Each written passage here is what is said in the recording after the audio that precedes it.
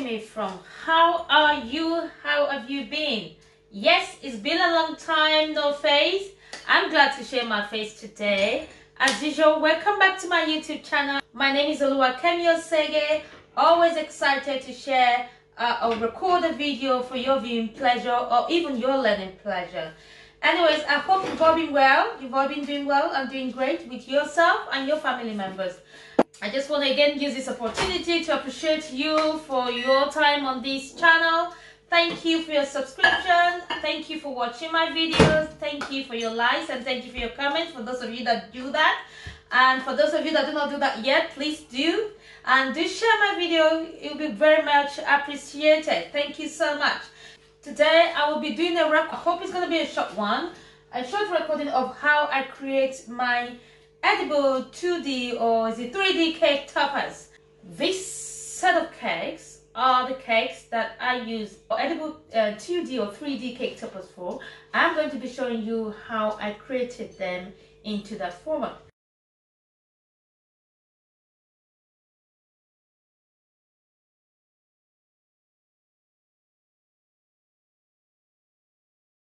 However, I need to bring to your attention that I am not going to start from the beginning. That I have another video where which I recorded in which I showed how I create my edible images for my cakes. So I will drop a link of that video in the description of this um, recording so that you can go there either refresh your memory or see how I create my edible images for my cakes. But for this purpose, I'm just going to focus on creating the cake toppers.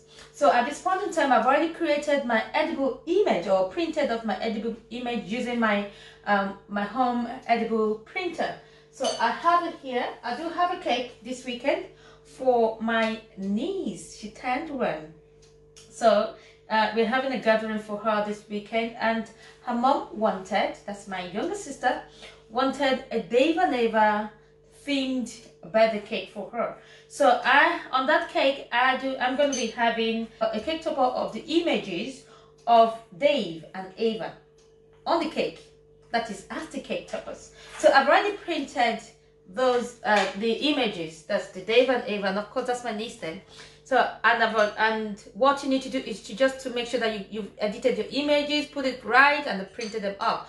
So the next, the, the this stage is to show you how I create them into cake toppers where they stand hard on top of the cake. So what you're going to need is your edible image. You're going to need uh, gum paste. I usually use SFP. It doesn't matter. It depends on what color you're using. I if I, I usually use um, cream or white. So that's my um, SFP gum paste. And of course, I'm going to use my floral wire. I prefer to use something a bit thicker, so I tend to go for 18 gauge or sometimes um, 20 gauge. But I've got either of them here, whichever one is more flexible for me to use, I will do. And of course, I've got my rolling pin, my small rolling pin to assist me to roll out the uh, gum paste. And I've got my brush. And of course, my edible um, gum. It is also called piping gel. This is what I'm going to be using to apply my edible image onto my gum paste. And of course, my, my icing sugar to, uh, to prevent stickiness. And of course, one more thing I need to get. Uh, that is my Trex vegetable shortening. So I'm going to require that as well. So those are what, what, I, what I need for the purpose of this video today. And as showed you earlier, I already printed my images and I have cut them. this image, this is an icing sheet. The icing sheet comes like this with a film behind it. So I have trimmed off my edible image whilst it is on the, on the, on the film. So as you can see what i'm just going to be doing now is to lift is to lift it up from the sheet as um, gently as i can. As you can see it's not coming off. Yep. There you go. I believe that's ava i'm not sure which one is which. I believe that's Ava. So that's my Ava out. And Dave. I've done the same thing with Dave as well. So I've just um, trimmed them on the film. Sorry, trimmed them on the film. And now I'm just simply lifting it up.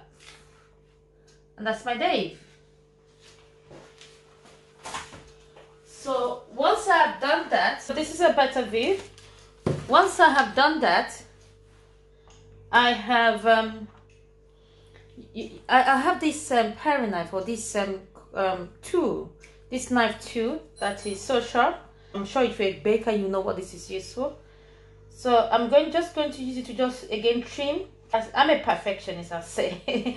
I try to be as perfect as I can. So any, I'm trying to now remove any excess, um, any whitey stuff to cut the, to trim the image as close as possible to the actual picture. So if I have any white stuff relating to the um, page that it was on, I'm getting rid of them as best as I can. But I'm going to do the same with, um, as you can see with Ava, I hope this is Ava. Uh, you can see this white bead here and this white bead here. So it's not perfectly trimmed. I'm going to do that now. By the way, I washed my hands before starting out. So I usually wash my hands before I begin any cake decorating process. If you don't see me watching my hand in any of the videos I do, it is because I have done it before I commenced the video. I don't, I rarely use gloves.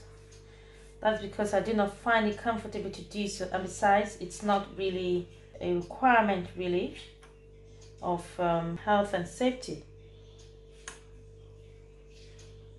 You can have gloves and still transfer germs. So what I tend to do is that I wash my hands as often as, I, as necessary. I have just returned from work, that's why I am in my workout fit and I just wanted to get this out of the way before I begin the actual cake decoration. Okay, so I now have my Ava Dave and Ava images perfectly trimmed to the picture you know, it is simply Dave and Ava no other thing attached to it. Or so I've trimmed it as best as I can to the images. So now I am now going to roll out a piece of my gum paste. You might wonder why I am using gum, gum paste instead of fondant. Yes, you can use fondant, but the thing about fondant is that it's not going to dry even if it dries, it's not going to dry hard enough for it to stand on the cake. These toppers I'm doing, they're going to actually stand on the cake. Are different um, uh, brands of gum paste, but this I usually use SFP because my experience with it has been um, good. So sometimes if you don't, I'm using um, vegetable shortening to prevent uh, any stickiness to my hand and also to assist the gum paste soften a bit because it's currently hard yeah, as I was saying, an alternative, you can actually, an alternative use to gum paste, because gum paste are actually very expensive. A quantity like this, about 250 grams or thereabout, is about six pounds. So when you have a cake product that requires gum paste, and you wonder why how expensive that cake quote is, that is because the, the cost of the materials are very, very high. An alternative to gum paste is using fondant, but then adding CMC powder, CMC powder or Tylo powder. This powder helps your fondant to firm up and possibly harden to your desired texture. But I prefer to use gum paste because uh, it helps me to achieve the result I want quickly. With gum paste, depending on how thick your uh, product is or your finished product is, it dries within hours. So this topper is required tomorrow afternoon. So, and this is just about 6 p.m. I expect it to be hardened and ready to place on the cake by tomorrow morning. And another thing you need to be wary of is that with your gum paste, if you don't store them properly and seal them off, if there is a, an entrance for air into it, it will dry hard and it will be useless. So it is very important that when you purchase your gum paste, knowing how expensive it is, to store it appropriately. Seal it Usually, the one I usually buy is a big pack like that. And it comes in a sealed, in its own sealed pack. So when I've taken the one I require, I just simply seal it. I just simply seal it. And then fold it. Sometimes I even still further add um, wrap uh, cling film around it just to ensure that it is um, airtight. Another thing that I would have needed was this um, wire cutting tool. I'm going to require it to cut the wire, the um, the flour wire. This is where my icing sugar comes in. Just to spray a little on the board to prevent stickiness. Although with the vegetable shortening, I would have done so anyway, but um, so I'm just now going to roll out a thin sheet.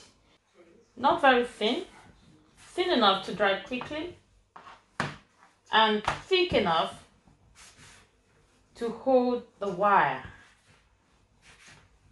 You don't want to be too thin to the extent that the wire will start breaking through. No. You want to be you want it to be thick enough for the wire to hold in it and also thin enough for it to dry, for it to dry quickly. Okay, that's the goal. Sometimes you have to use your own self judgment. I tend to use my sewing pin, but a lot when I'm rolling fondant or any mid um, icing medium that's roll that you can roll. This is to get rid of air bubbles mostly in the medium. Anyway, I'm now going to place my images on the rolled out icing or rolled out gum paste to right to actually assess where I'm going to apply my edible right okay so I'm going to apply my piping gel around those areas.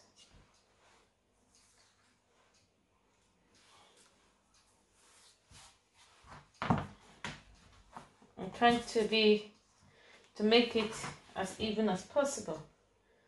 So apply my piping gel. I cutting it to ensure that it covers the area I'm going to be applying, placing my images on.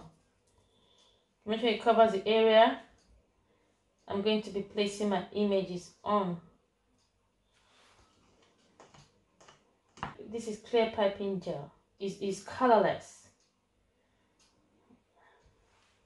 Okay, let's start with Ava. placing Ava now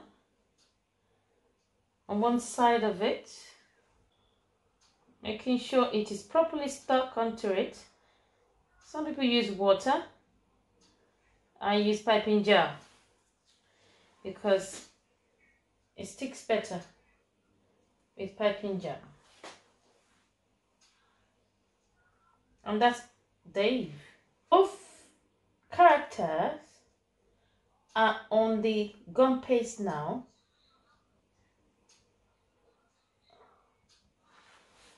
with using um, piping gel as adhesive.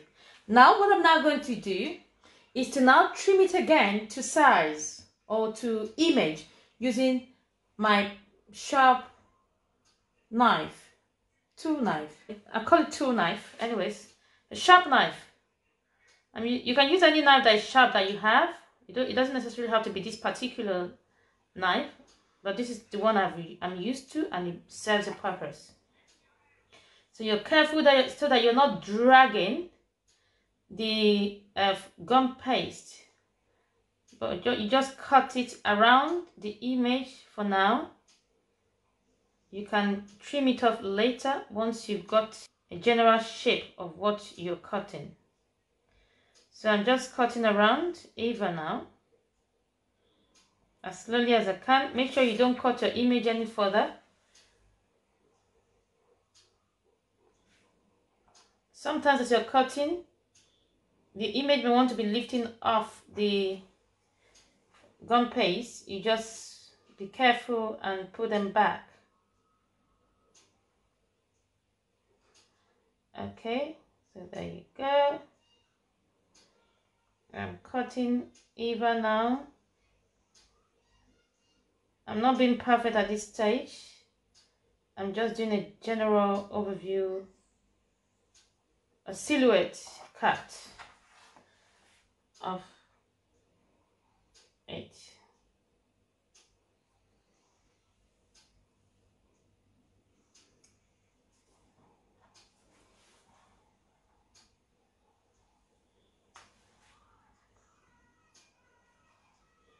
Make sure you're not pulling yes.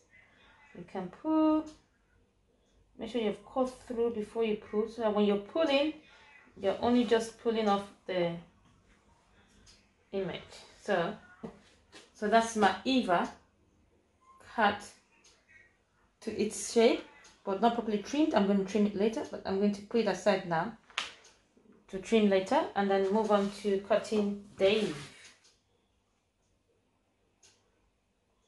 Again, I'm just simply cutting it, cutting off the silhouette or the shape of my figure, the figure of my uh, image. I'm not being, I'm not perfect at the moment. I'm not trying to be perfect.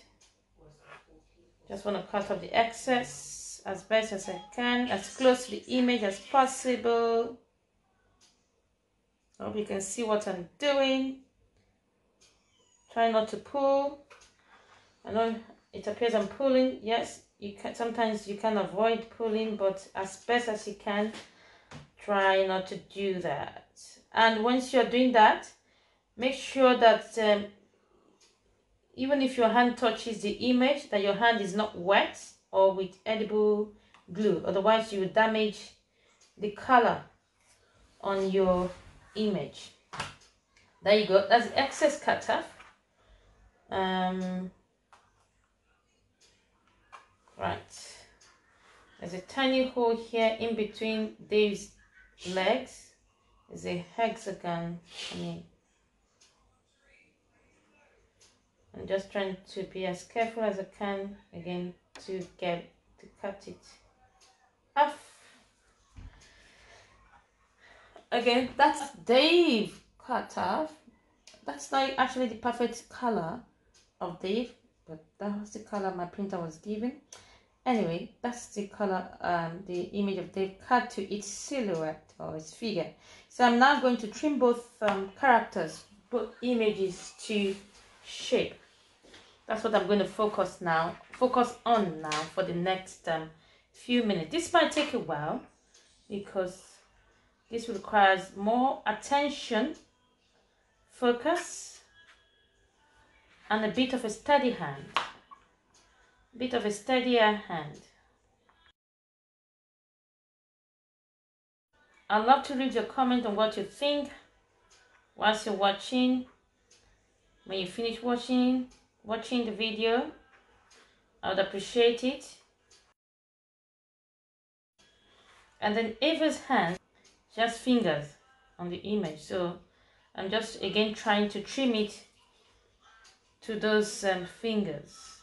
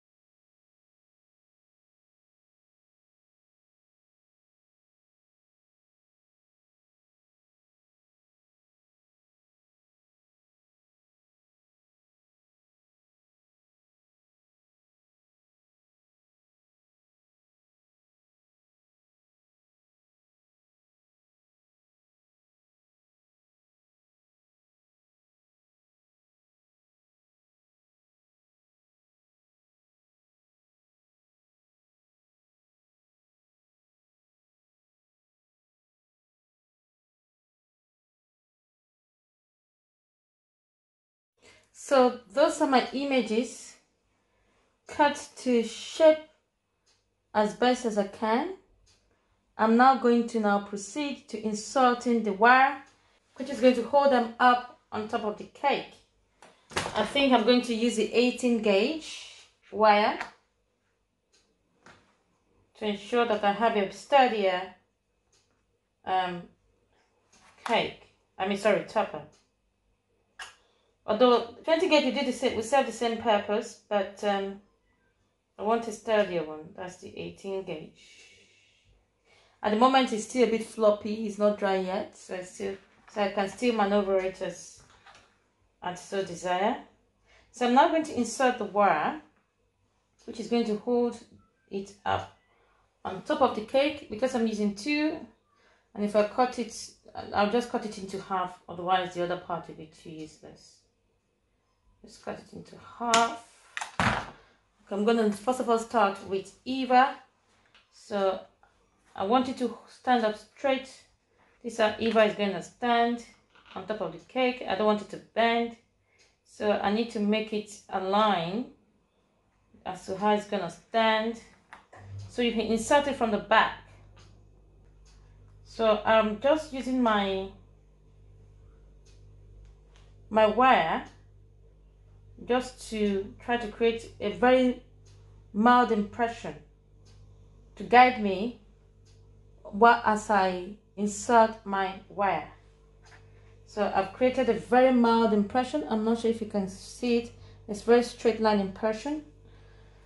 Just a mild one to give me some kind of guidance as to how, otherwise I may be going left, right, center, left, right, center. But I want to go straight. So I've created that uh, line to assist me and guide me into the image as best as possible and to make it as straight as possible. So I've just inserted the wire now to go beyond the center or the middle of the image.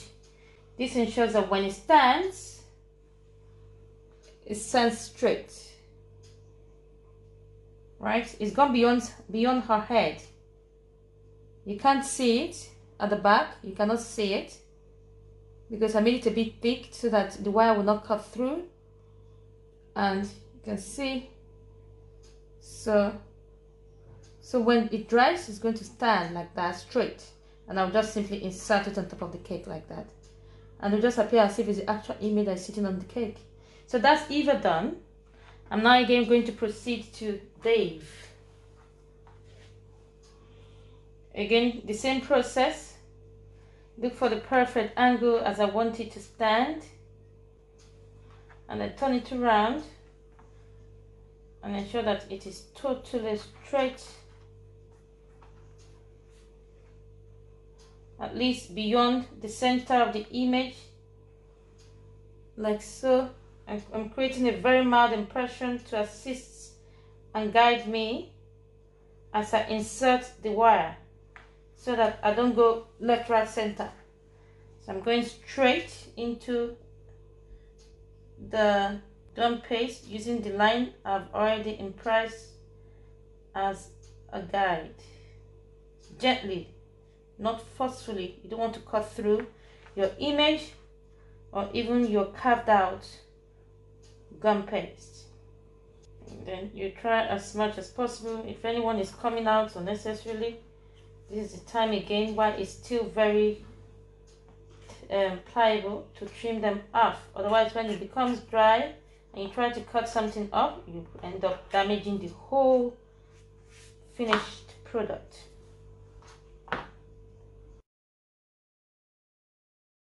So that's Dave standing now.